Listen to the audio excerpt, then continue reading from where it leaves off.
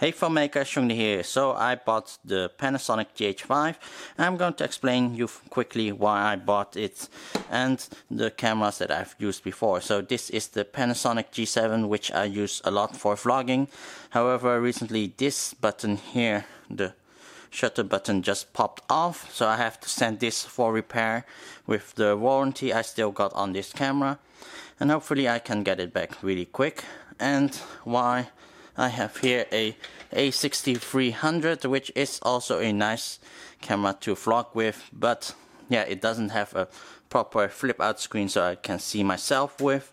And the amount of batteries I have to carry if I want to vlog the full day with is about 7 batteries which is just ridiculous for the amount that I need to yeah bring with me.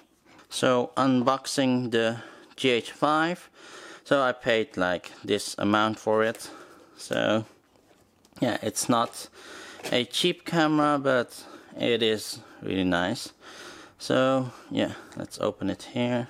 Actually here it says like accessories you can buy for it. And I think I will buy at least the XLR and yeah not quite sure anything else. At least I think a few extra batteries should be also Uh, here is a booklet with everything info about and a lot of tabs here. And here the important part the Panasonic GH5 camera body.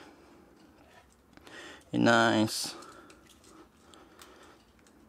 clean screen here. And what else do we have the GH5 neck strap. I'm not going to use it because I'm mostly filming and don't need the neck strap.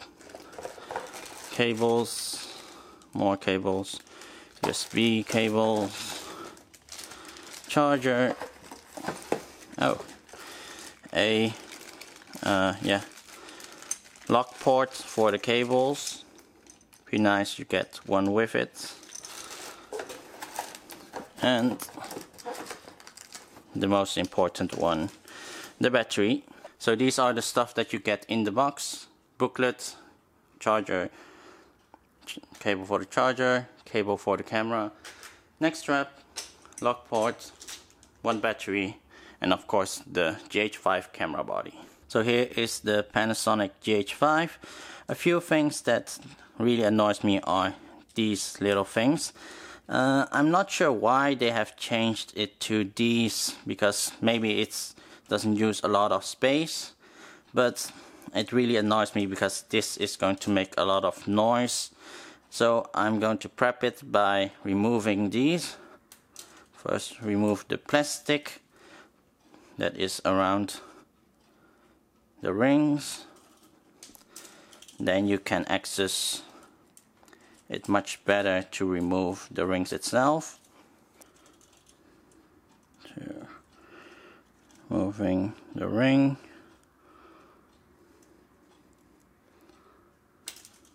And there we have it, the ring removed. And this I'm going to put inside of the box. The rings removed, we can move it about and we don't hear those things anymore and now putting in the battery. So just going to this battery here. Have a lock here. Opens on its own. And this goes in like this. And lock it back in. And now we're going to turn it on here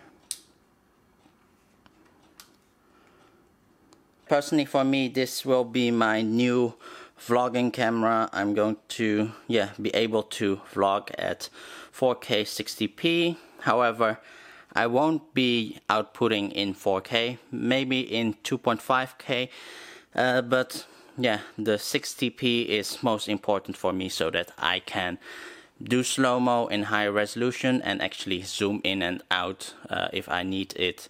Because I will be using the 7 to 14 millimeter on this camera and uh, yeah enable me to get like better vlogs and yeah the future upgrade.